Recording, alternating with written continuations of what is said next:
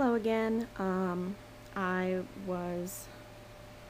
Seems my cats have uh, knocked down some of my goodies in the background. I thought I'd give something of um, my little review space a bit of a background, so I just crowded a bunch of stuff that I really like back there. I know I'm weird, um, but as of right now, I wanted to do a little bit of a review about my Marvel Legends figure of Fantomex. So, um, I don't normally collect a whole lot of Legends figures because I am way too far behind to afford um, pretty much the entire line. So, you know, I might as well just kind of grab pieces here and there that really interest me, and one of them is Fantomex. Um, very cool looking guy all around. Um, got his little trench coat, his little X gear. Comes with a extra arm, which I am going to be sending to a friend. I believe he wanted that piece, so that's pretty cool. Um, you see the box, he's shooting bullets on it. Let me pick this up here. There he is. And from the side, we've got a lot of the other characters. Drax, um, Madam Mask, Madam Hydra, also known as Viper, and Big Time Spidey down below. On the back, we've got the Arnim Zola series, Fantomex, sorry about the glare. And down below, the mysterious Fantomex. Villain or hero, only he can decide.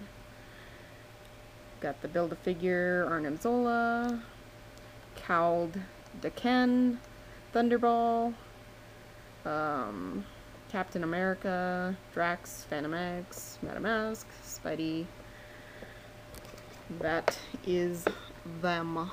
Alrighty. So I'm going to open this bad boy up just a moment. There is the barcode, which unfortunately for me doesn't really show up too well with everything. Maybe right there. But be back briefly. I'm trying to uh, not ramble on in my things. Um, also wanted to note that if you're wondering how to say um, the tag name that I put up for myself. It is Usagi Hime. Usagi Hime. So that means rabbit princess in Japanese. So these are Usagi Hime's action figure review. So thank you, and just a moment. Okay, I'm back. Um, if you're wondering why I'm holding on to him, it's because he does not want to stand for me very well. I'm not the best uh, at making legends figures, especially ones with coats, um, stand, legend or universe. So, yeah, that's why he's a little dorky looking. But, uh, here he is, out of the box, and I really like his little coat. It's very mobile. It's got two holsters on his belt so I can put those guns in if I want and doesn't really seem to move too much if at all. He's got your basic uh, back and forth and waist mobility on his upper torso. Um, for the side we've got your normal range of motion for Hasbro, the arm up and down, and the upper arm movement. Got the wrist, moves in circles, not up and down though. It's got a nice little gun. You got his head. What you gonna do, punk? sorry, um, moves all the way up and down to the side. Very nice, and you probably heard my phone go off because somebody is bugging me. Probably my buddy Ed. And, oh, actually, you know what? His wrist does move back and forth. I'm incorrect. So that's actually kind of cool. Even better. From the back, we've got a nice little uh, swizzle design. He's got them all over his body. You can see the outline of an ear on him. For his legs, you can kind of move all over the place, which is neat. He's got the upper leg mobility and uh, the lower, I'm assuming. Maybe, maybe not. So, maybe not there, but at the ankle for sure. And then, of course, up and down on the foot. I would love to stand him here for you for the rest of my discussion, but I don't think that's going to happen. Maybe. there we go. That works. Um, as I said, this arm is going out to somebody, but this comes with him, so I'll just describe it a little bit.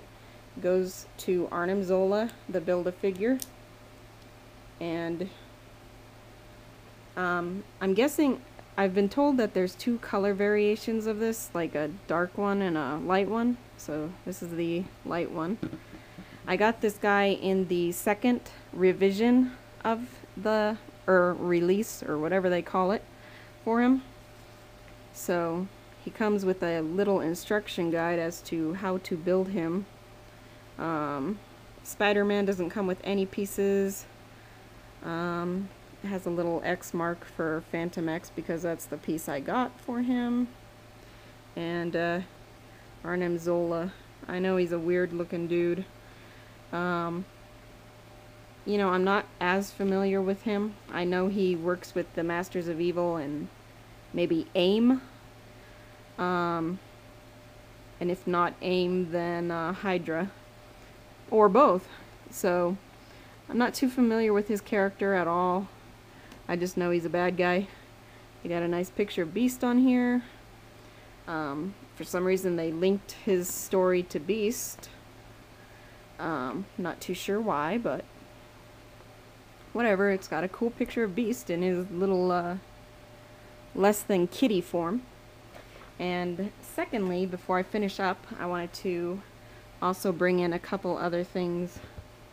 Um, I recently got this guy in the mail. This is Sergeant Frog character. Giroro. Once again, I've mentioned that he is my favorite. Um, this is one of the faces you can put on him, and uh, it actually looks very wrong because uh, if I turn him around, I, yeah, you stick it up his butt basically. so it actually kind of makes sense for the face that he's giving, but he also comes with another face, um, which I will put up real quick. His bodily pieces. He comes with a gun. And I think the guy that sent him to me broke off a piece in his hand. If not, then maybe he had two, and um, that's another piece. Because from what I can tell, my gun looks okay. It doesn't look like anything broke off from it, but I don't know. If anything, it would be that piece, but it's there and it doesn't look broken, so I don't really know. And finally, you can switch out his head. So instead of that, you got that. So, my cute little frog froggy friend from Sergeant Frog, which I do very much like. And finally, I've got two other things to show. I've got a character Baroness from G.I. Joe. There is a reason I bought her. I don't collect Joes, but I'm going to transform her into maybe a figure version of myself. Um, I don't want that to be like narcissistic or anything, but it's just she's got glasses and that way I can put myself with my people in my own little way like I'm part of their world. So, um, hope that doesn't sound too, I don't know, weird. And finally, I've got a Storm Shadow Joe. As you can tell, I'm sure you can guess what my plans are for him. Um, ideally, I would transform him just as is into my friend here. But uh, if you notice, the Joe body doesn't really... I, I looked at it again today and I noticed that it doesn't fit with the Marvel Universe style. So I will at least be taking the coat and the head for sure. And of course the weapons. Um, I guess maybe Fantomex is more of a gun user. So maybe the swords aren't going to really fit too well. But it is what it is, and I need to find a more suitable body for him because, as we can tell, this one has pants over the boots, and this guy here has boots at the bottom. He needs a belt and holsters and gloves with his arm.